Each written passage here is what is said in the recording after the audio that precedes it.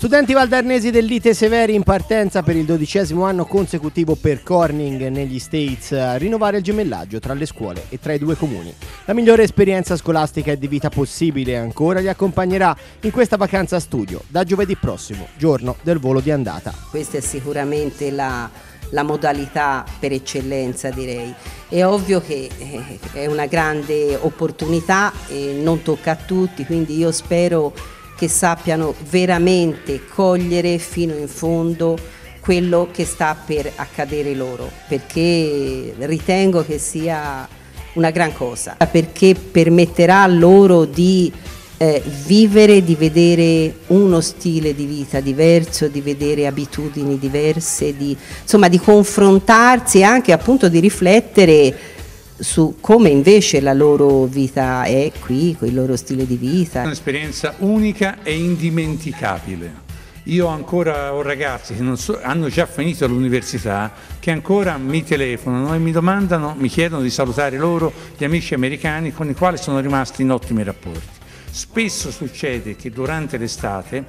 alcuni nostri studenti vanno con la famiglia negli Stati Uniti e vanno a Corning a trovare quelli che per loro sono rimasti il loro babbo e la loro mamma americana, perché il rapporto dato anche dal gemellaggio delle due città non è quello di accoglienza così per fare, è un vero e grande rapporto di amicizia, diventano parte della famiglia americana. Questo appunto, come dice il sindaco Viligiardi, rinnova anche il gemellaggio tra i due comuni. Questo è un bel rapporto, è un bel eh, progetto di gemellaggio che va avanti ormai da tanti anni e che è naturalmente rafforzato dal rapporto fra le scuole. Il livello istituzionale è un livello che ancora prosegue con eh, scambi eh, e relazioni eh, che sono sempre un po' più difficoltose, però ogni anno la presenza dei nostri studenti a Corning e di ritorno eh, degli studenti di Corning qui a San Giovanni è l'elemento centrale del gemellaggio che c'è fra le nostre città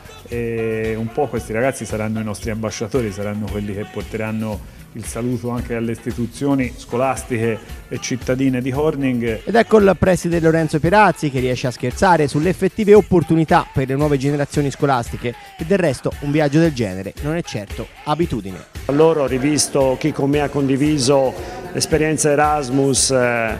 lo scorso anno a Praga, ad ottobre partiremo sempre con i ragazzi del tecnico economico per Budapest e il tutto proseguirà anche con gli stage linguistici sia in lingua inglese che in lingua francese, oltre alla prosecuzione di questo Erasmus che ci porterà di nuovo in Spagna e in Turchia e all'attivazione di ulteriori passaggi. Lo dicevamo